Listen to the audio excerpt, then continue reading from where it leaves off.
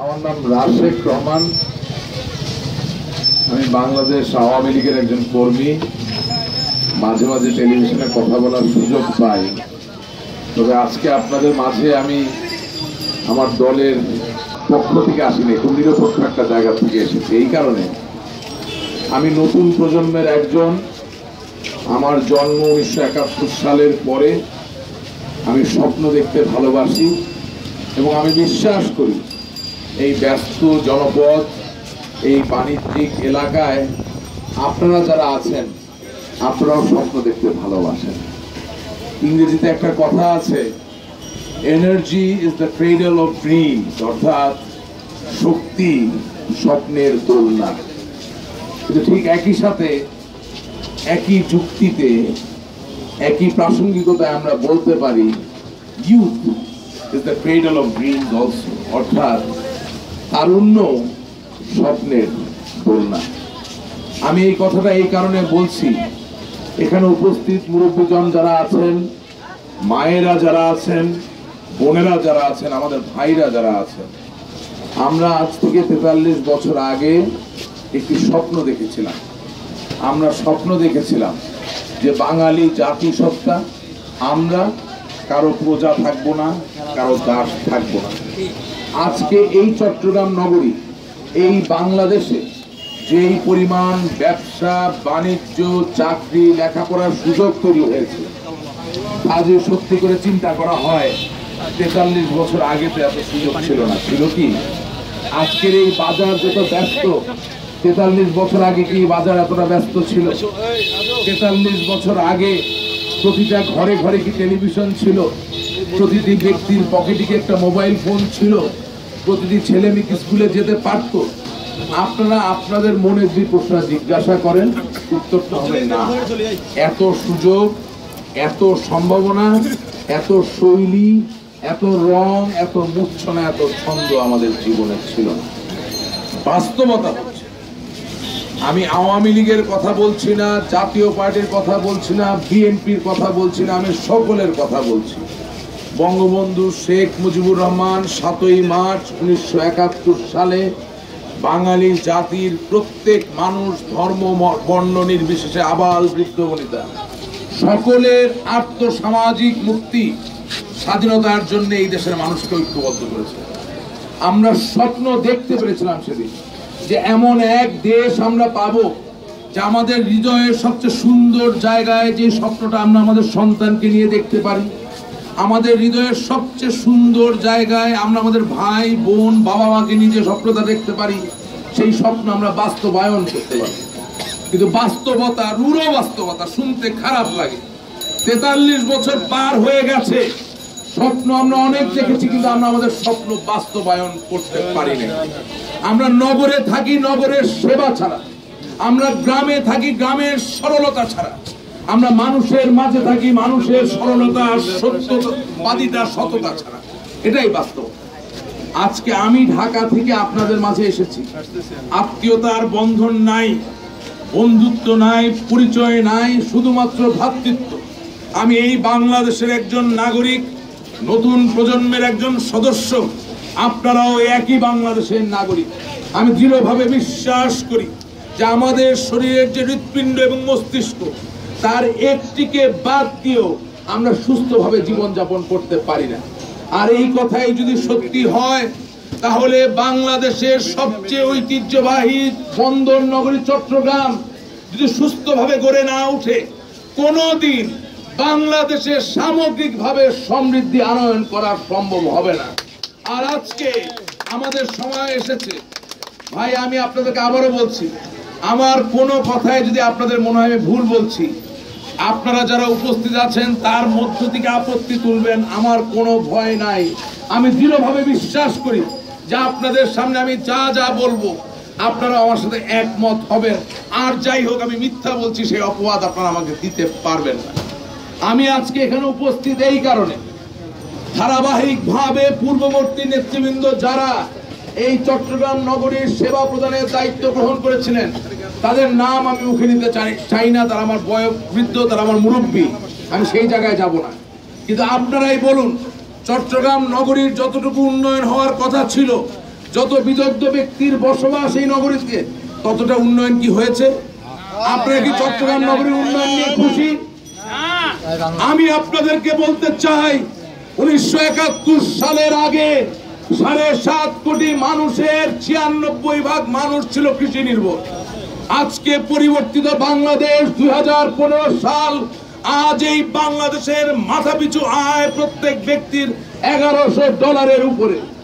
আমি আমার শৈশবকালে নিজ চোখে দেখেছি, একটি গ্রামে একটি সাদা কালো টেলিভিশন থাকলে সমস্ত গ্রামের লোক হুমড়ুকিয়ে করতো কথা সত্যি না আমি আজকে সেই জায়গায় বাংলাদেশের পঁয়ষট্টি হাজার গ্রামের প্রত্যেকটা ঘরে ঘরে সাদা কালো না ভাই সাদা কালো না রঙিন টিভি আছে। এই কথা কি সত্যি না? একদিন এই দেশে মোবাইল টেলিফোন কেনার জন্য এক লক্ষ টাকারও বেশি লাগতো। আপনাদের কি মনে আছে? আজকে বাংলাদেশে টিভি খুললে বিজ্ঞাপন দেখা যায় এক হাজার টাকায় মোবাইল পাওয়া যায়। আপনি আপনার সন্তানের খোঁজ খবর নিতে পারেন সন্তান তার বাবা মার খোঁজ নিতে পারে। বাংলাদেশ এগিয়ে যাচ্ছে। তবে এই এগিয়ে যাওয়ার সম এগিয়ে যাওয়া নয় অসম এগিয়ে যাওয়া। বাংলাদেশে সমতার প্রবৃত্তি সমতার উন্নয়ন সমতার সমৃদ্ধি ঐশ্বর্য আনয়নের জন্য আজ সময় এসেছে। সকল আবেগ সকল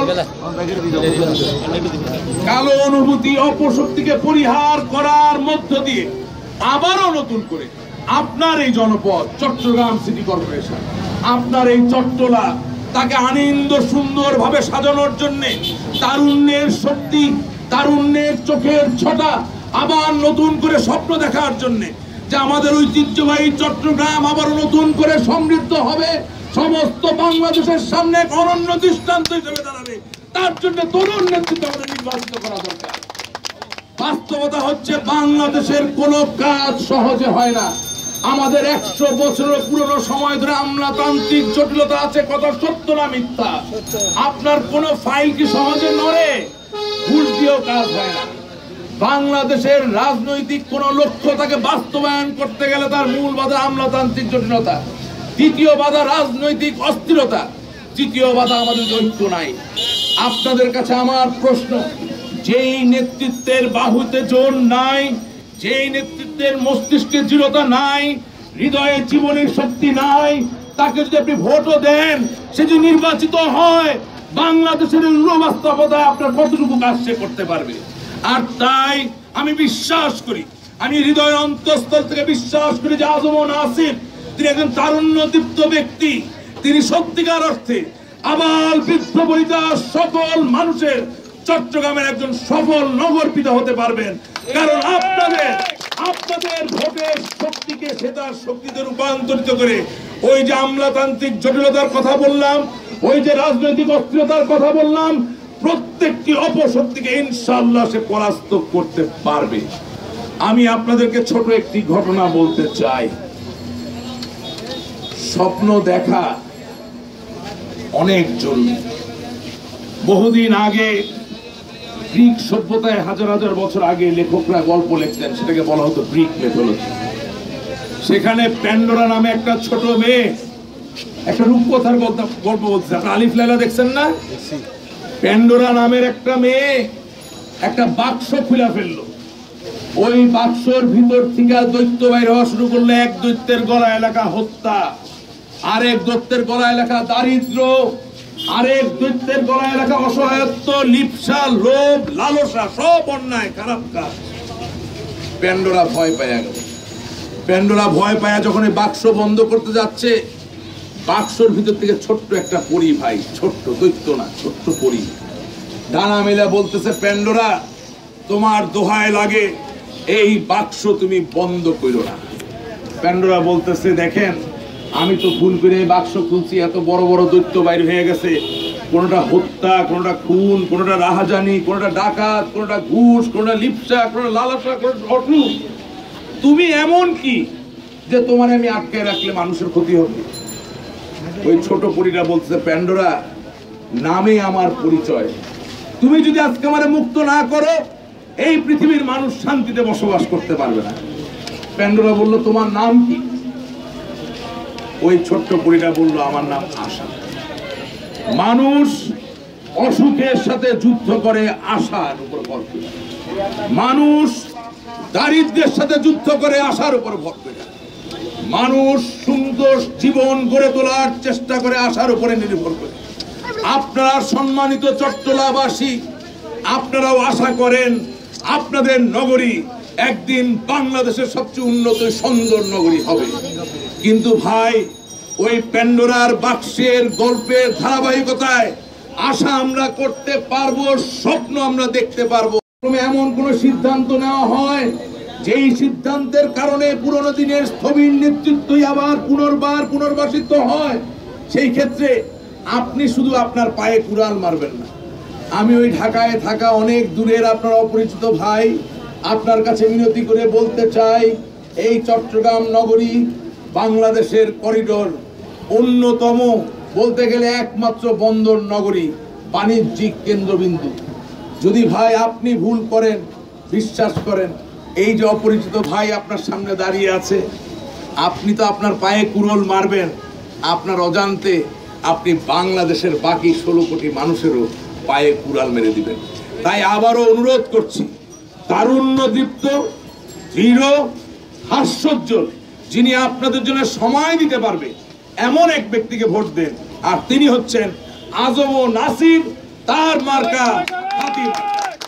আজকে সময় কম, ঘণ্টার পর ঘণ্টা কথা বলেও অনেক সময় খুব যুক্তিসঙ্গত কথা হয়তো বা বোঝানো যায় না কিন্তু আমি বিশ্বাস করি, আমাদের হৃদয়ের জানালা আমাদের হৃদয়ের চোখ আমাদের সাথে কোনোদিন প্রতারিত করে না। আপনাদের কাছে উদাত্ত আহ্বান জানাতে চাই, আমি আপনাদের কাছে কৃতজ্ঞ যে এই ক্ষণিকের এখানে থামা মাত্র আপনারা দাঁড়িয়ে কথাগুলো শুনছেন, একটাই আহ্বান জানাতে চাই। আগামী আঠাইশে এপ্রিল ওই ভোট সেন্টারে যখন আপনারা ভোট দিতে যাবেন, উপস্থিত মা, বোন যারা দূরে আছেন, ভাইয়েরা, একটা অনুরোধ, হাতে যখন সিল দেওয়ার, সিলটা হাতে তুলবেন চোখটা বন্ধ করে হৃদয়ের জানালা খুলে দিবেন। ইনশাল্লাহ আপনার নগরী, আপনার ভবিষ্যৎ প্রজন্মের জন্য সঠিক সিদ্ধান্ত যে হাতি মার্কা, সেই উত্তর আপনি আপনার হৃদয়ে পাবেন। কথায় কথায় অনেক কথা হয়ে গেল। সব শুধু শেষে বলতে চাই বিশ্বাসেই শক্তি বিশ্বাসেই বিজয়। আজম নাসির সাহেব, জননেত্রী শেখ হাসিনার সমর্থিত প্রার্থী তিনি অনেক বিচার বিবেচনা করেই তাকে সমর্থন দিয়েছেন। তিনিও বিশ্বাস করেন যে সমস্ত বাংলাদেশে আজ উন্নয়নের যে অবারিত ধারা প্রবাহিত হচ্ছে, অবশ্যই চট্টগ্রাম নগরীও যুগপথ ভাবে একই ছন্দে সেই উন্নয়ন ধারায় নিজেকে আলিঙ্গন করাতে সক্ষম হবে। শুধুমাত্র আপনাদের সমর্থন সহযোগিতার মধ্যে। আমার কথায় যদি কোনো বেয়াদবি হয়ে থাকে, আমি তার জন্য হৃদয়ের অন্তঃস্থল থেকে আপনাদের কাছে ক্ষমা প্রার্থনা করি। আশা করি আপনাদের সাথে বারবার দেখা হবে। শুধু টেলিভিশনের ওই রঙিন পর্দায় নয়, রাস্তায়, বন্দরে, গ্রামে, গঞ্জে, জনপদে, ব্যবসায়িক এলাকায় জীবনের স্পন্দনে, জীবনের ছন্দে, সংগ্রামে, প্রতিবাদে। আপনাদের সকলকে ধন্যবাদ। জয় বাংলা, জয় বঙ্গ